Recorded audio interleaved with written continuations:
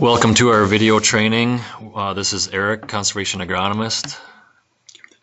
Uh, this is through March 27th, 2019, and we're going to go through. Mark Washcheck and I are going to go through uh, some of the new changes or updates to the 590 standard. We're going to go over our 590 specification guide. We're going to go over a new spreadsheet to help document nutrient applications. Uh, we're going to show you where to find these documents, and we'll do that first of all here. So Mark will open up. We need to find these um, on, you can just Google Field Office Tech Guide. That will take you to, maybe maybe Mark can just go along and, and show you how it goes. It's going to get you to our NRCS Field Office Tech Guide. There you go. Yep. Then we're going to choose our state. There's Field Office Tech Guide. Yep, click that one. We're going to choose South Dakota. Submit. Section 4 is where conservation practices are. And we're gonna, the third one down is conservation practices. This is all stored under the nutrient management. They're in alphabetical order. So oh, you just passed it, go back up to N. And then we have a few different things under nutrient management. We have the specification guide that we're gonna be going over. We've got the documentation requirements. We've got the job sheet CPA 8, that's for manure management stuff. Then we have a statement of work, we have the nutrient management standard, and then we have the job sheet 590, which is what we're going to be demoing today for commercial fertilizer applications, variable rate or flat rate uh, commercial fertilizer. So with that, I will have Mark open the specification guide. Uh, we have it minimized at the bottom there. So here's a few of the updates from the 590 standard that was on eFOTG there. That's about a 12 page document, uh, a lot of manure management stuff, a lot of commercial fertilizer stuff all um, mixed together. So a committee was put together and we kind of sorted out the, the commercial fertilizer stuff and that's the heading of this document here. So it's broke down into a few different categories. We have soil testing at first, yield goals later on. Then we have nitrogen, phosphorus, potassium, and how we're going to certify that this practice of 590 has been met. So we're going to go through this document and explain each one of these steps to you. So starting with soil testing, there's basically three ways agronomists or producers are soil testing for 590. They're either doing a flat rate application of nutrients and they're composite soil testing of the whole field, or they're setting up management zones and soil sampling by zone, or they're setting up grids and soil sampling by grid. So it's pretty common for composite and zone samples to do a 0 to 6 and a 6 to 24 inch sample for N, P, and K. In the case of grid sampling, it's commonly done only on a 0 to 6 basis, and that's okay for P and K and that initial year. Um, when we need to calculate the rate of nitrogen without having that 6 to 24 inch soil test, our specification guide says to use 40 pounds for in lieu of that 6 to 24 inch soil test. And when we get later on in our presentation today, we're going to show you a spreadsheet and how that 40 pounds is carried over into that spreadsheet. But for now, when it comes to soil testing, we're going to use 40 pounds on that initial year of grid sampling. Uh, when it comes back to your next nitrogen requiring crop, that's when we're going to ask that a 6 to 24 inch sample can be, will be taken. So that'll be be according to the EC 750 from SDSU. And that that 6 to 24 inch can be taken then either by management zones, field composite, yield maps, or other method recognized by SDSU. So that's a little bit about soil testing. Yield goals, uh, all our recommendations in South Dakota are still based on yield goals, so that's a huge uh, part of this whole recommendations process, so it's very important we get that part right. Uh, it's pretty easy when we got a field composite flat rate application. We can take our three consecutive years and average those. Uh, there's some maybe South Dakota ag statistics yields we can use, but in the case of grids or zones, that becomes a little bit more challenging to get uh, yield by management zone. So we're going to rely on the producers to use their best judgment uh, and get realistic yield goals so that this whole process works correctly.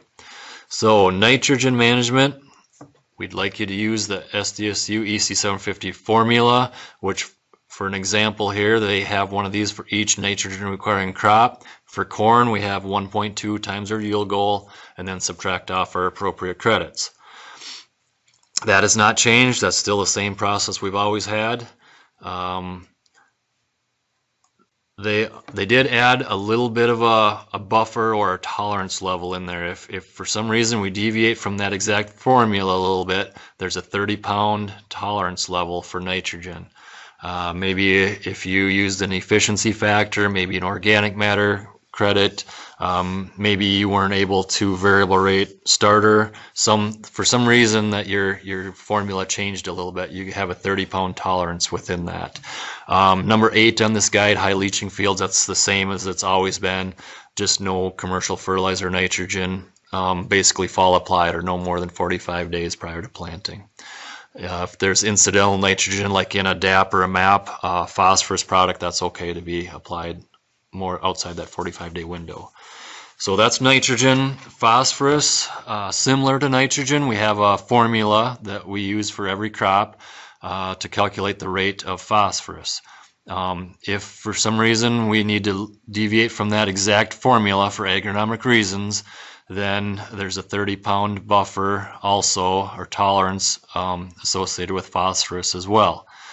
Uh, one other slightly different tweak that's been done, if the exact formula for phosphorus calculates a zero rate, which a lot of times on the Olsen scale, it's about 15 to 16 parts per million Olsen for, depending on the crop, that's going to calculate a zero rate.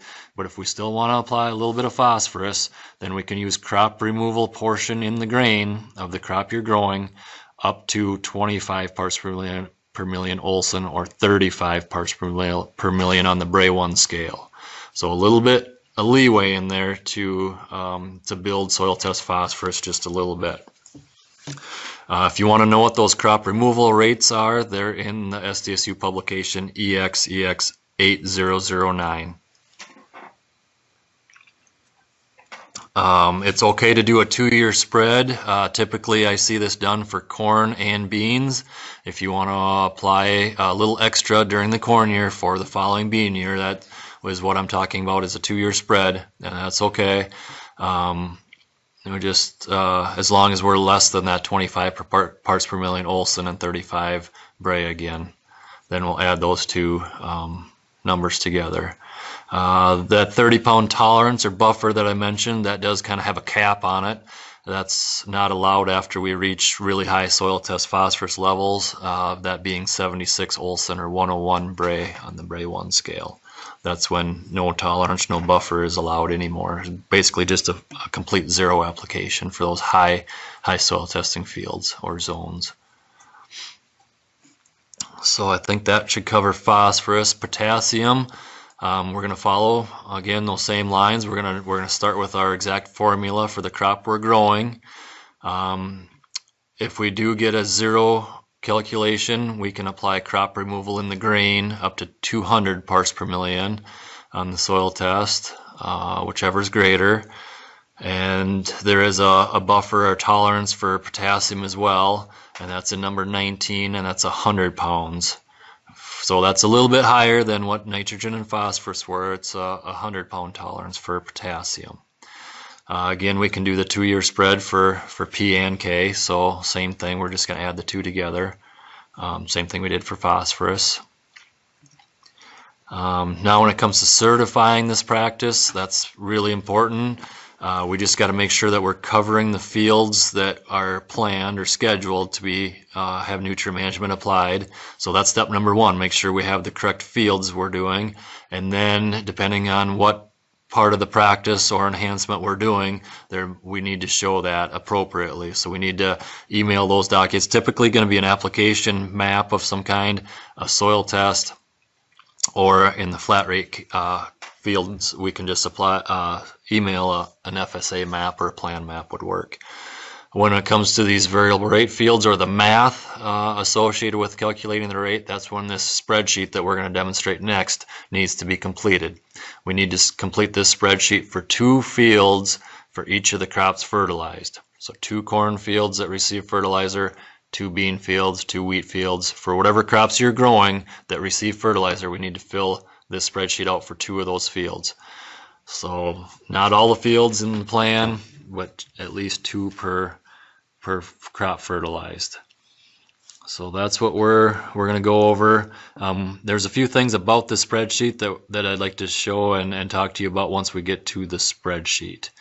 So um, with that, I guess there's a couple comments down here. If for any fields that receive manure application, we still want to use the CPA 8 or the CPA 63. The CPA 8 is pretty short, concise, and simple. I think you can you can uh, calculate rates for about five or six fields at, at once. If you need more fields than that, or if you want to do some zones or something with manure, then we, we definitely need the CPA 63. So that's the difference in those two forms. The same math will be calculated for both in both forms. And then for fields that receive commercial fertilizer only, then this, this job sheet 590 that we're going to demo next is definitely the one that you'll want to use. So all these forms and this whole process is all found through SDSU publications, how you soil test 0 to 6, 6 to 24. That can be clearly explained in this the SDSU FS 935. The fertilizer calculations all came from the EC 750 and the crop removal numbers came from the quantities of plant nutrients contained in crops EX 8009, all SDSU publications. So with that, Mark, um, should we open the spreadsheet? Maybe I'll have you give a, give a introduction to the layout of the spreadsheet and kind of some housekeeping uh, documents. Yeah, thanks, Eric. Before we open it, I thought I'd just cover a couple points. Um, let you know that the spreadsheet, it was designed specifically for the purpose of collecting and storing this information from the producer or consultant by the zone, the grid, uh, or the grid for up to 15 fields in an operation. The information that we're collecting includes the producer's name, the field number, grid number, zone number, soil tests, crops grown, yield goals, fertilizer products supplied, and the amount supplied. The spreadsheet can calculate also a recommendation of N, P2O5, and K2O based on land grant university recommendations, specifically the South Dakota State University method, like Eric said earlier, using the EC 750.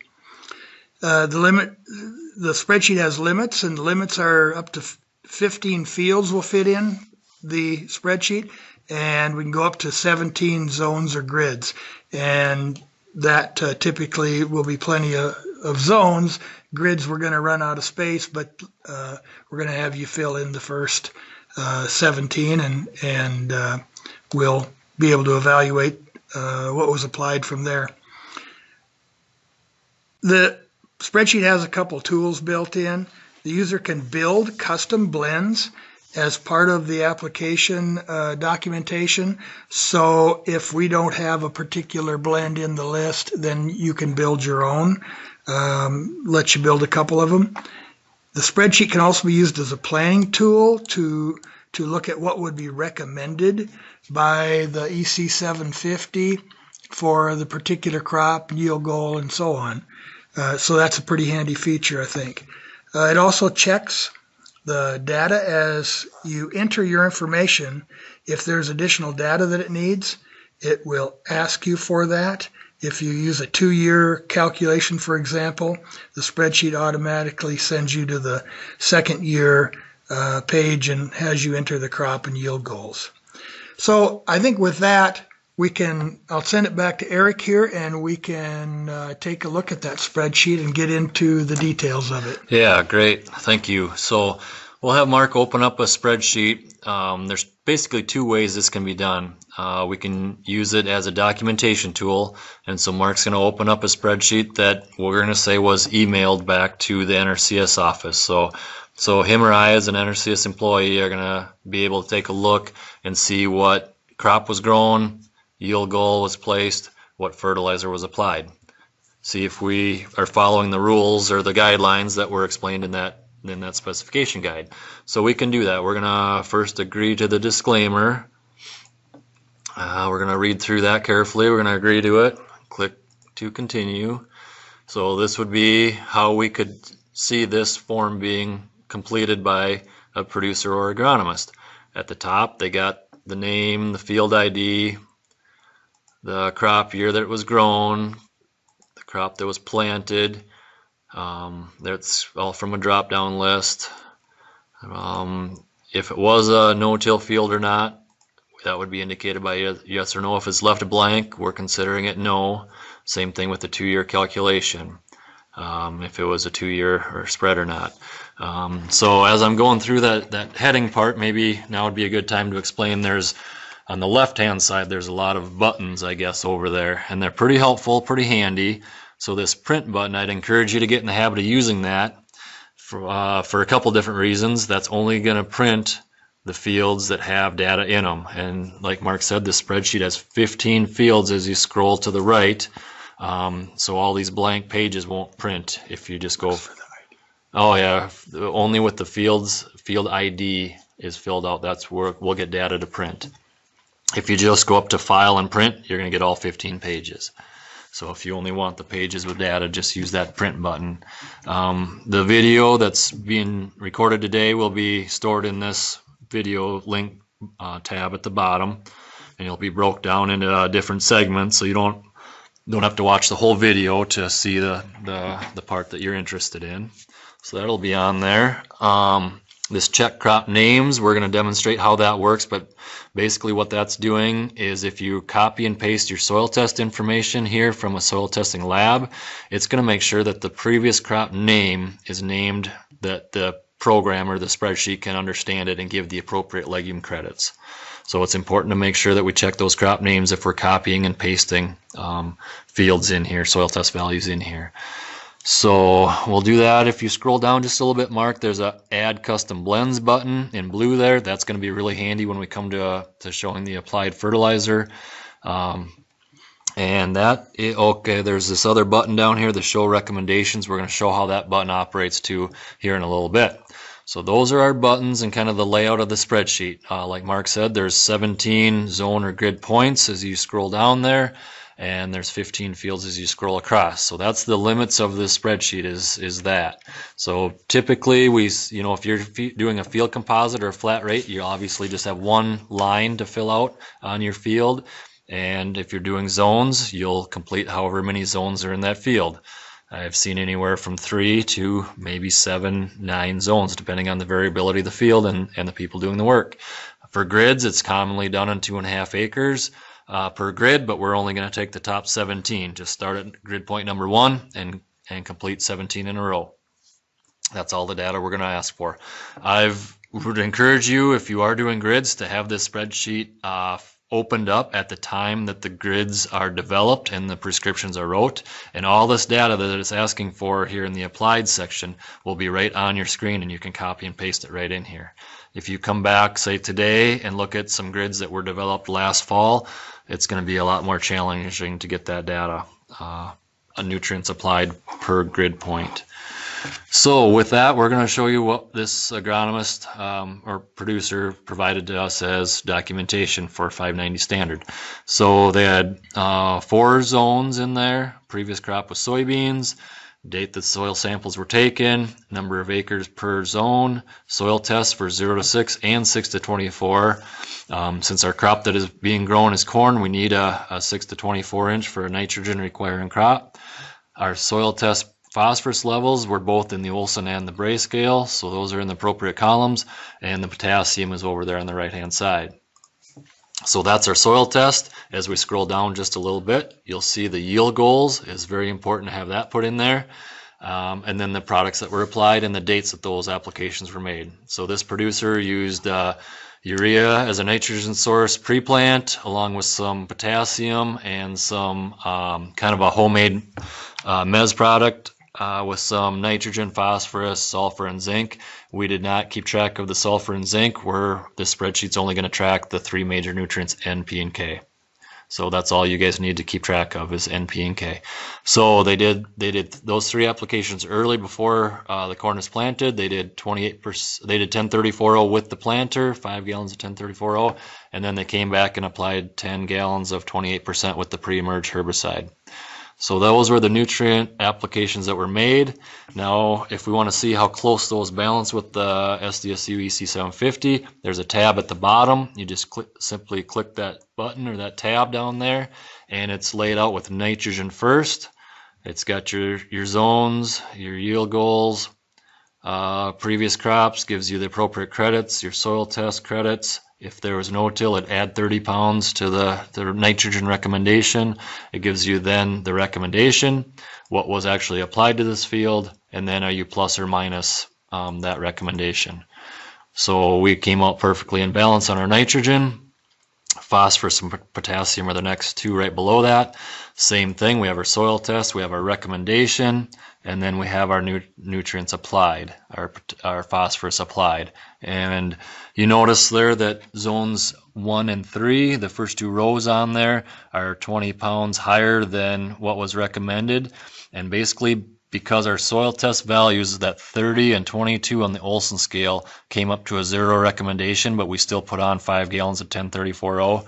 So we applied 20 pounds of phosphorus. And that's the reason, if you remember when I said there was a 30 pound tolerance when we were talking about the specification guide, so that 20 pounds of starter fits well within our 30 pound tolerance. So that works pretty good. Um, the balance, if you, if you need to know more explanation about what that balance is, there's a little red triangle in the corner of that cell. Hover your mouse over it and that explanation uh, will pop up and then you can read that. So anytime you see those red triangles throughout the spreadsheet, that's more information that you can read about. So same thing with potassium. Um, we had some different soil test values. Uh, a couple zones called for zero, a couple zones called for some nutrients. Uh, we put on exactly what was recommended, so we were perfectly in balance there.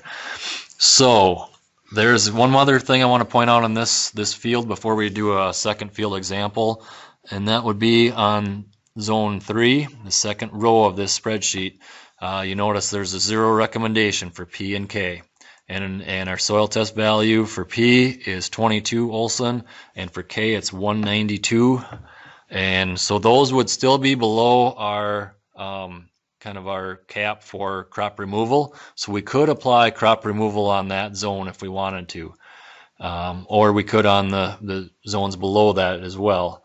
And to get the crop removal numbers, there's a there's a tab at the bottom simply called crop removal. If we click over there, That'll give us the P and K for crop removal. So you notice on that same um, spreadsheet line, now we're, instead of over applying 20 pounds like we did through our starter, now we're actually 45 pounds short if we're going crop removal rates. And same thing with potassium, we need another 53 pounds if we want to put on crop removal. And again, you can do that up to 25 uh, parts per million Bray, uh, no, 25 Olsen, 35 Bray, or 200 on the potassium. That's when crop removal um, can't be used anymore once you reach those numbers. So hopefully that gives a little leeway to do what we need to do on a field by field basis. Anything else I forgot to mention there, Mark, before we skip to the next field? No, I think you did a really good job explaining that. Um, and the fact that these um, comment boxes are all over the spreadsheet. I would encourage people to take advantage of taking a look at some of the instructions, clarifications, lots of tips. So use that.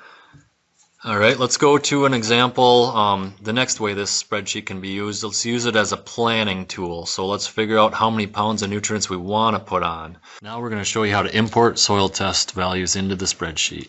So we're going to open the spreadsheet. Then we're going to open a Excel file with the soil test values and we're going to show you how to copy and paste those in there to save save time from having to type all that information. So, so we'll Thank open you. that spreadsheet with our soil test values. And so we're going to copy and paste um, exactly the number of columns that we need. We're leaving off the field ID column because we don't need that in the spreadsheet. So he's going to copy and paste values. It's very important that we paste values in there. Um, we're going to enter the crop to be grown. It'll be corn. We're going to show you that it's our producer name. Uh, we're going to enter a field ID. And then we're going to enter the, oops, Then we're going to enter the year that this crop will be grown. And we're going to say we're going to grow this in 2019.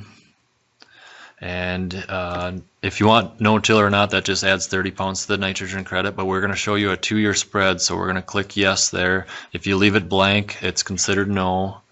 So we can we can do it two ways. We can do it now or, or later, I guess. We didn't. We got to check our crop name. So our previous crop um, column there didn't match exactly, so the spreadsheet caught that, and it's going to ask us to correct that so we get the appropriate legume credits. First, it'll take us. First, it'll take us into the second year, Okay. uh, where we need to enter in the yellow cells a yield goal for the zones for our second year crop, which we're going to grow soybeans. Correct. Uh, yield goals Yield are, are 40, 50, and 60 in this example. And it's very important that we get a realistic yield goal for the field we're working on, obviously. But for our example, that's what we're using today. Click Done. the fact that it told us we got a problem with crop names, it hasn't fixed it yet. Okay. So, So I check think our- we better just go fix it by clicking crop names. Soybean is the problem.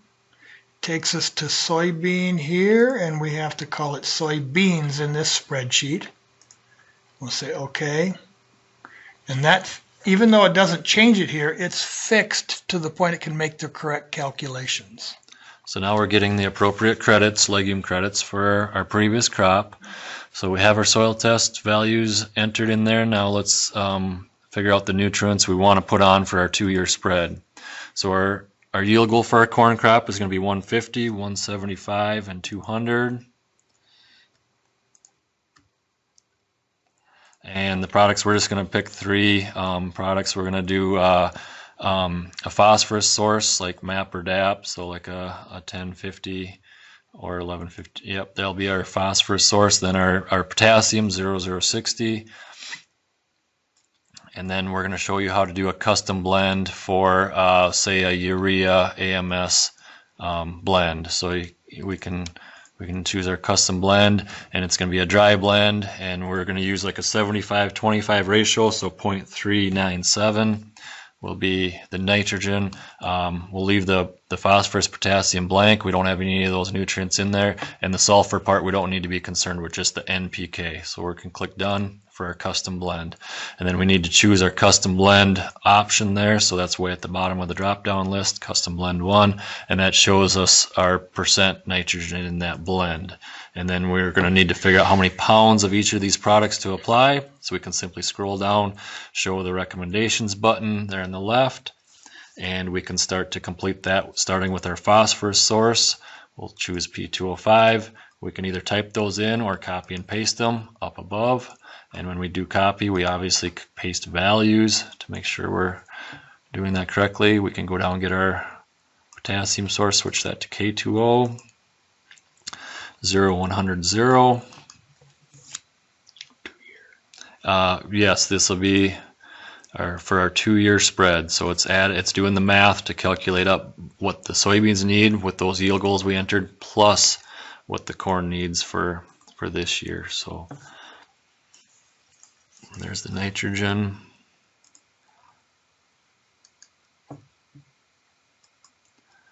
and we can we can double check what we put on um, there under the SDSU EC750 tab and that gives us our recommendations our application rate new uh, producer applied and then the balance to make sure that those balance perfectly and down below on the P and K that'll be the combination of the corn and the soybeans applied on there so what we needed and what we applied and they're both in balance crop removal tab. Um, as long as we're below 25 parts per million Olsen, 35 on the Bray scale.